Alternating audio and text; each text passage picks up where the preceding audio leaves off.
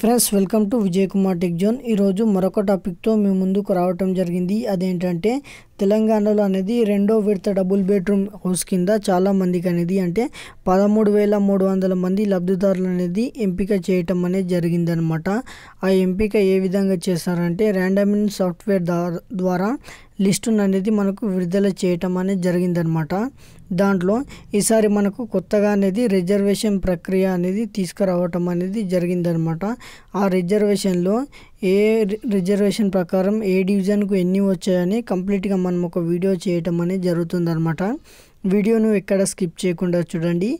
అప్పుడే మీకు complete process అనేది అర్థం అనేది కావటం అనేది జరుగుతుందనమాట ఈ వీడియోలో మాత్రం మనం ఏం చెప్పదలుచుకున్నామంటే ఏ డివిజన్ కింద ఎన్ని ఇళ్ళు వచ్చాయి మరియు దాంట్లో ఎంత రిజర్వేషన్ మాత్రం ఇవ్వటం అనేది జరిగిందనమాట లిస్ట్ అనేది మనకు కొంతమంది మాత్రమే ఇవ్వటం అనేది జరిగింది.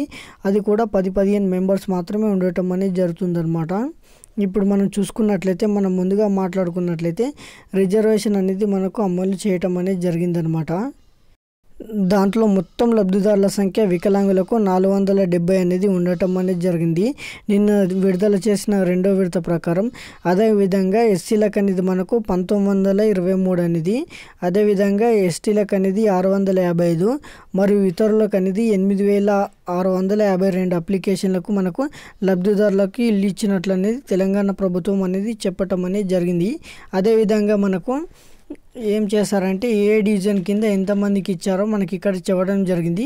మనం ముందుగా చూసుకున్నట్లయితే షేర్లింగంపల్లి నియోజకవర్గానికి ఐదు వందల మంది లబ్ధిదారులు అనేది ఎంపిక అయ్యారనమాట ప్రతి నియోజకవర్గానికి అనేది మనకు ఐదు వందల మందికి లబ్ధిదారులకు అనేది మనకి ఇవ్వటం అనేది జరిగింది.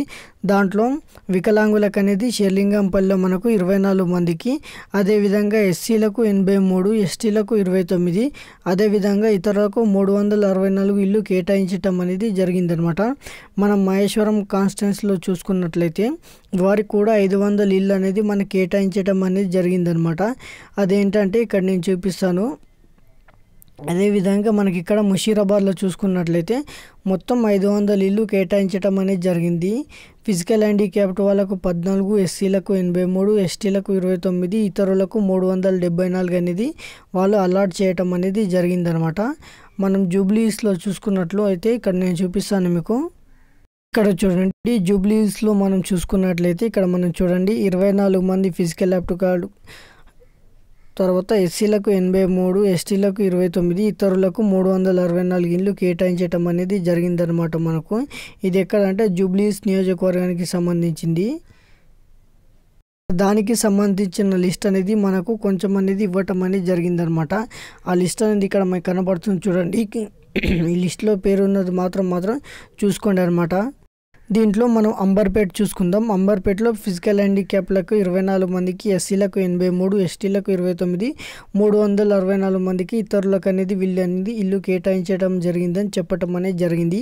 అదేవిధంగా మలక్పేటకు సంబంధించింది ఫిజికల్ హ్యాండిక్యాప్కు ఇరవై నాలుగు మంది ఎస్సీలకు ఎనభై మూడు మంది ఎస్టీలకు ఇరవై తొమ్మిది మంది ఇతరులకు మూడు వందల అరవై నాలుగు మందికి అనేది ఇవ్వటం అనేది జరిగిందనమాట.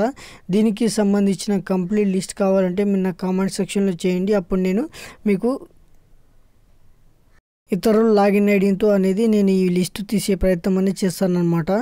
ఇప్పుడు మాత్రం రిజర్వేషన్ల ప్రకారం ఏ నియోజకవర్గానికి ఎల్లు ఇల్లు కేటాయించారో ఇవ్వటం అనేది జరిగింది. కొన్ని మాత్రం లిస్ట్ అనేది నేను ఇక్కడ చూపిస్తాను. అక్కడ నుంచి చూసుకోండి మీరు. ఇలా అనేది మనకు కొన్ని కూరగాయలు మాత్రం లిస్ట్ అనేది ఇవ్వటం అనేది జరిగింది.